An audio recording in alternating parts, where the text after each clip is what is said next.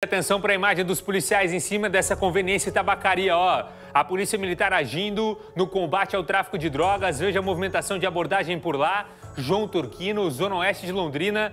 A informação chegando para a gente de duas pessoas presas por conta do tráfico de drogas ali no local. Veja só o momento da abordagem, ó. Os policiais estão ali, estão revistando, estão levantando a informação. A galera vai pro camburão, hein? É, não teve jeito não, ó foi pro Camburão porque estava traficando droga por ali, Rafa.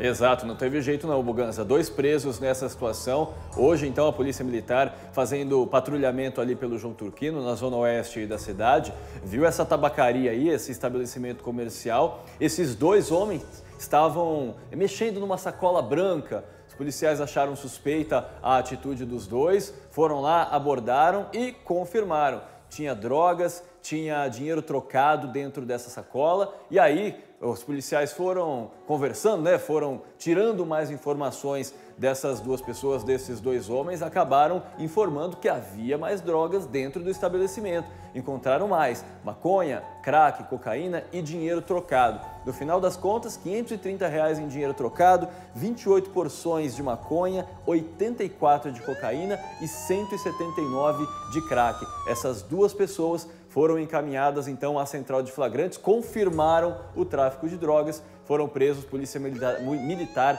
agindo ali na zona oeste de Londrina, Buganza. Fechou, Rafa Sanches trazendo o plantão policial para a gente. Obrigado pelas informações, Rafa. Já volto com você. A polícia trabalhando, combatendo o tráfico aqui na nossa cidade, não é?